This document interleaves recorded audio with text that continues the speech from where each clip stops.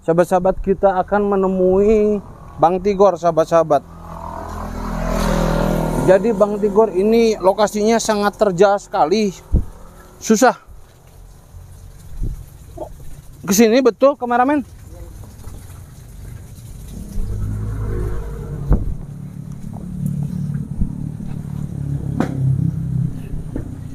Ini jalannya sangat susah sekali untuk menemui Bang Tigor sahabat hati-hati kameramen.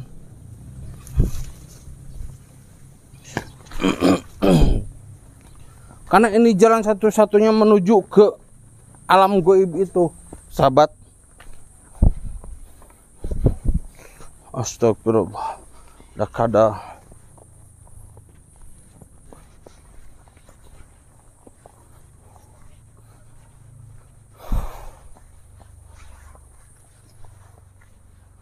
tapi gak ada ya? Biasanya Bang Tigor daerah sini.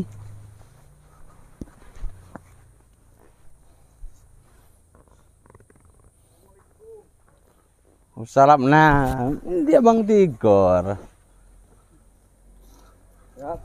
Sehat bang? Aduh. Ini tempat nongkrong abang. Aduh. Iya di sini nih, saya suka di sini. Loh, gimana?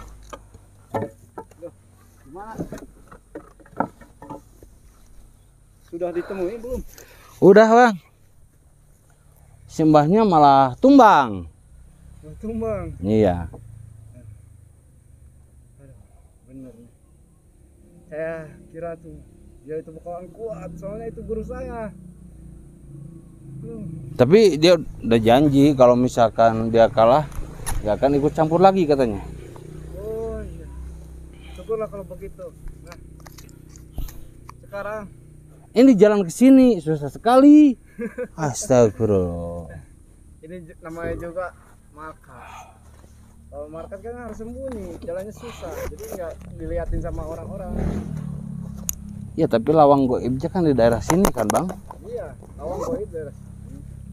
Nggak jauh dari sini, tapi gak bisa kalau misalkan sekarang siang-siang gak bisa nggak bisa. Harus malam. Harus malam. Kalau siang kan nggak mungkin. Barusan saya sudah meditasi juga. Kebetulan juga saya menemukan kunci gerbangnya itu salah satunya. Dan saya juga sudah bawa itu kunci.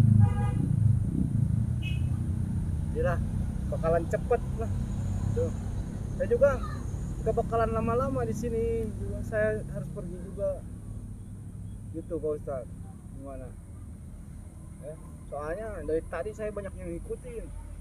kenapa bang Anak buahnya Majakra, terus anak buahnya yang lain, dukun-dukun. Banyak yang ngikutin saya. Saya dari tadi diganggu loh. Gak ada henti-hentinya. Iya abang harus sembunyi dulu Karena tadi juga salah satu guru abang ya kayak gitu bilangnya Kalau sampai Bang Tigor bantu saya ya sudah Bukan dihabisin Waduh. Buat juga. Gimana nih? Saya misalkan kalau misalkan saya berpencar gitu sama Pak Ustad atau gimana nih bagusnya Pak Ustad? Lebih baik saya nyumpet dulu. Iya Ya abang harus Empat dulu Baik, baik itu. Inilah demi kebaikannya. Mudah-mudahan aja secepatnya. Banyak sekali rintangannya. Karena saya yakin nggak jauh dari sini tuh. Gerbang gaibnya nggak jauh dari sini. Makanya saya bisa merasakan. Iya kan Bang Tigor yang tahu Kalau misalkan Gak tahu ngapain saya ajak-ajak Bang Tigor Iya, iya. Ah, Saya akan bantu full. Full, saya akan bantu.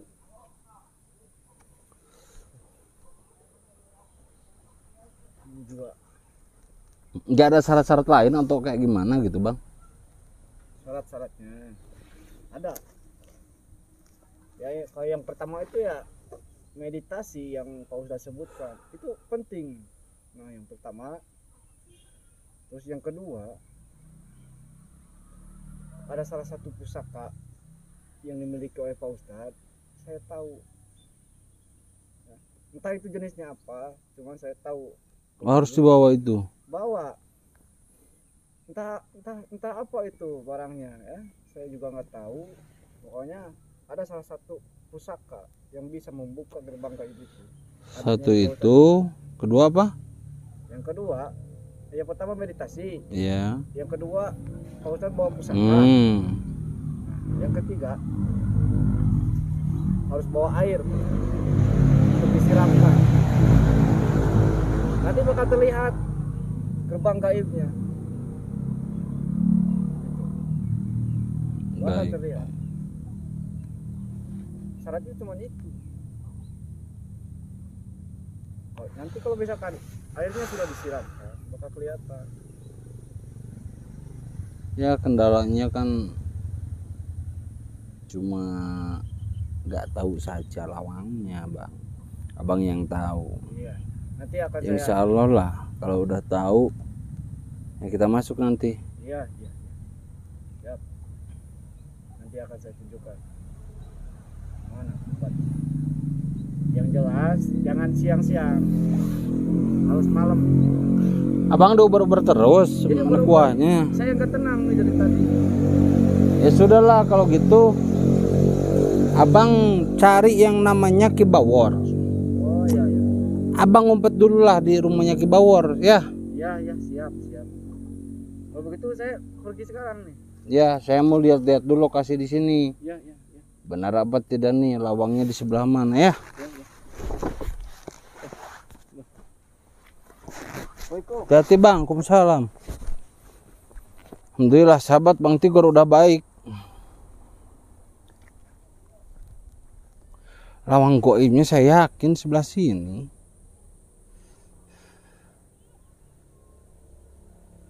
Masih daerah sini.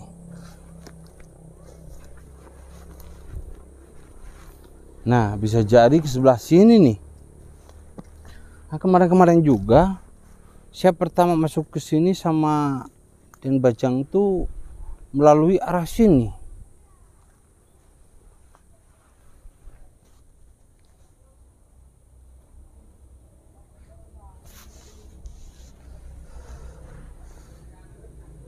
Saya coba deteksi terlebih dahulu ya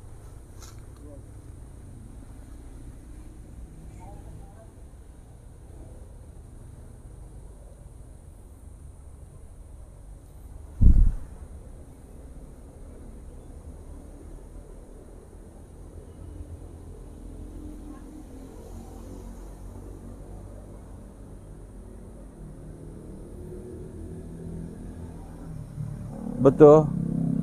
Gerbang goibnya di daerah sini.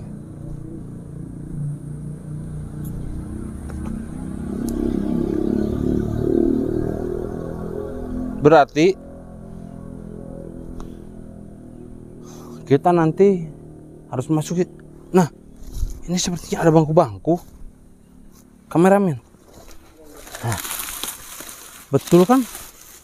Ini bangku kan? Nah sepertinya yang biasa masuk ke lorong gaib itu meditasi di bangku ini. Siapa?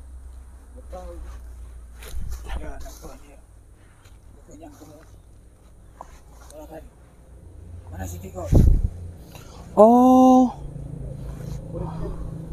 Muridnya yang kemarin mungkin nih mau apa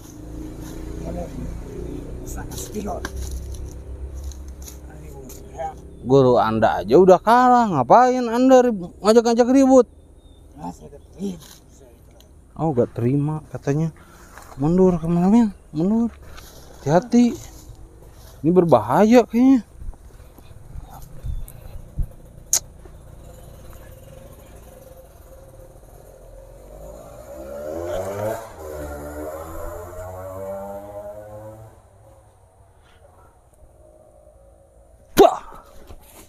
Astaga.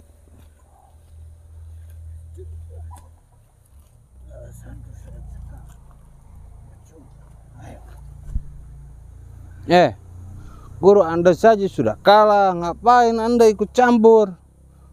Sudah, jangan ganggu saya. Jangan ganggu Bang Tigor juga.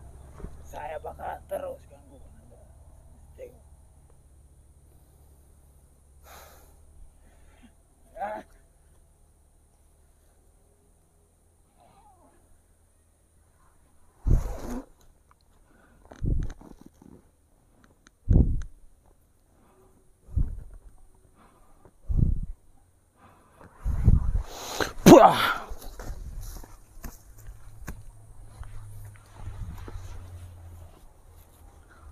Kuat juga nih orang.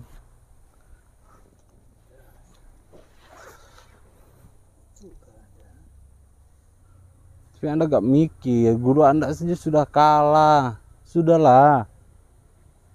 Lebih baik anda menyerah saja. Saya menyerah demi dendam guru saya.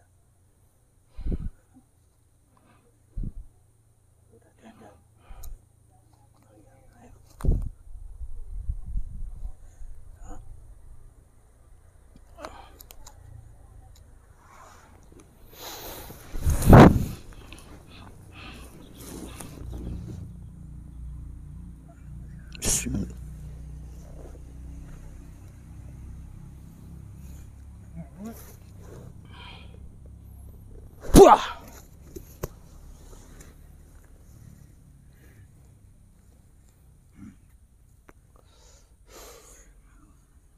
Ayo keluarkan ilmu anda.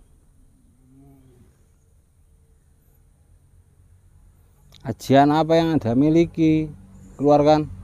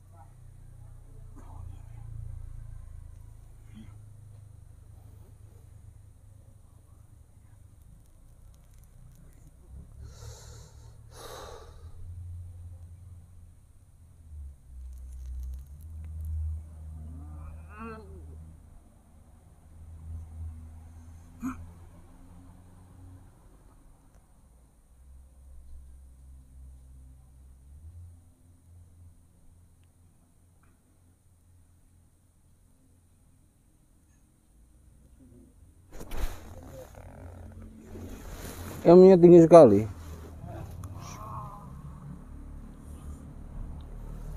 Allahu Akbar.